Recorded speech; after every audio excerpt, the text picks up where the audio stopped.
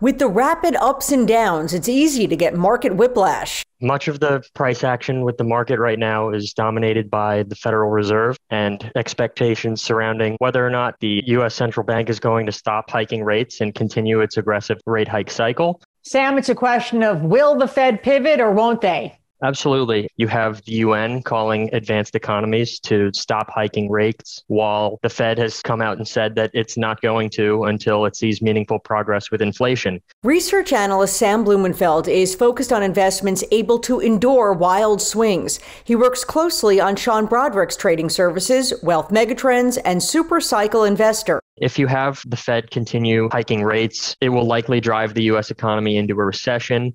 And in the event of a, of a recession, it helps to position in sectors that have relatively inelastic demand because when consumers are less price sensitive for goods, they will still continue buying them. Demand will stay resilient even when economic conditions worsen. Price inelasticity of demand is a reading that shows how demand for a certain good or service changes if the price changes.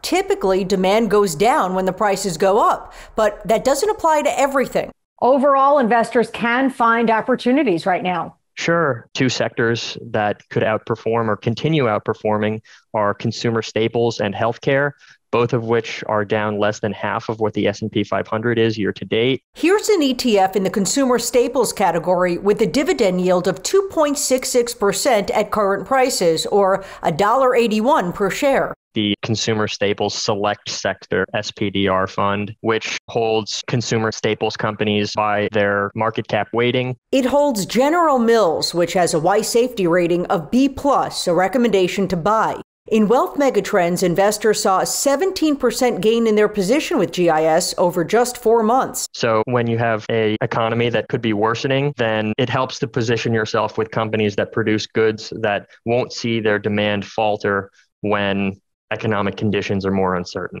In the healthcare space, there's the Healthcare Sector SPDR Fund, which offers healthcare exposure through the S&P 500. It leans heavily toward large cap stocks in pharmaceuticals, healthcare equipment, healthcare tech industries, biotech, and healthcare providers. If you're looking for individual exposure as opposed to the entire sector, you can drill down and look into the ETF's top holdings. From those top holdings, you can sort them by market cap weighting or potential dividend yield. Dividend payers and dividend raisers have outperformed over the long term. And when you have a company that's paying dividends, it's almost always generating stable cash flows to reward investors. Rate hikes or not, you can expect market action to intensify after the midterm elections. Historically, midterm election cycles are very bullish for the stock market. Take a look at the average returns of the S&P 500 over decades. 6 months after the midterms, the average return is 16.1%.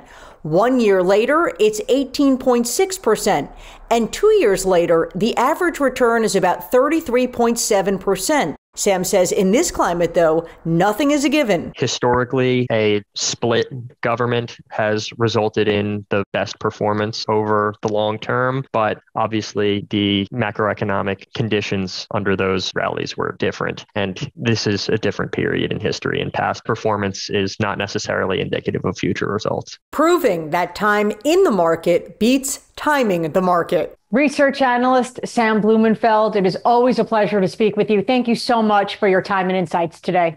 Thanks, Jessica.